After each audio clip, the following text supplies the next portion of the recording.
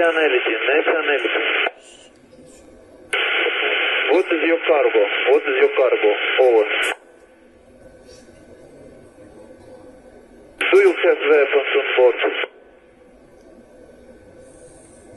Information. I warn you about the ban on movement to the port of Ukraine, as well as the fact that ships heading to the port of Ukraine are considered by the Russian side as potential transportation of military cargo.